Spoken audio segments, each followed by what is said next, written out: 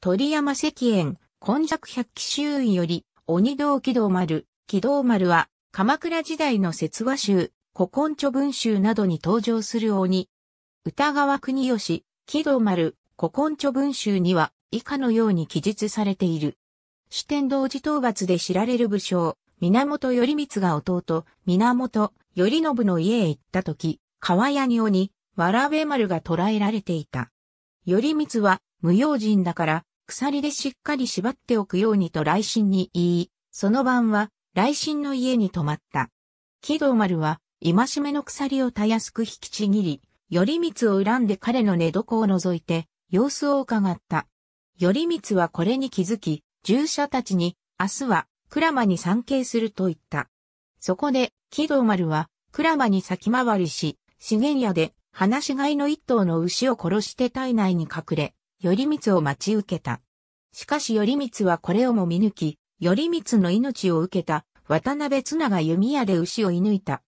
牛の中から鬼、わらべ丸が現れて、頼光に切りかかってきたが、頼光が一頭のもとに鬼、わらべ丸を切り捨てたという。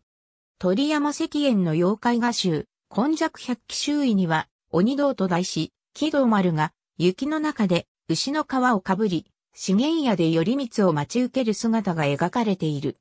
木道丸の話はこの古今著文集がよく知られているものの、他にも武者絵本類や伝承などで様々に伝えられている。京都府福知山市雲、原の公碑では、木道丸は主典同時の子として以下のように伝承されている。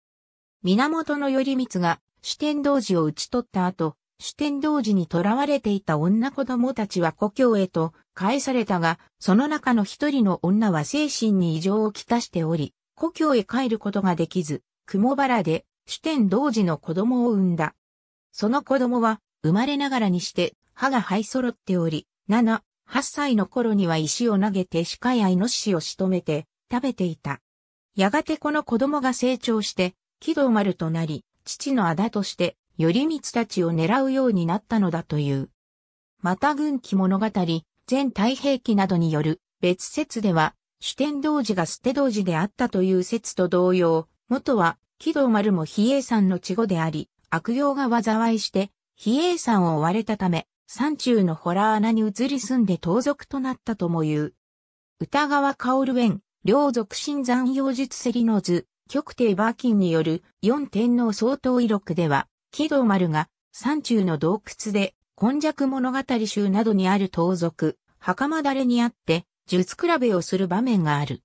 これを描いた作品に歌川国吉による木戸丸や月岡義俊の袴だれ安助木戸丸術セリズなどの浮世絵がある。ありがとうございます。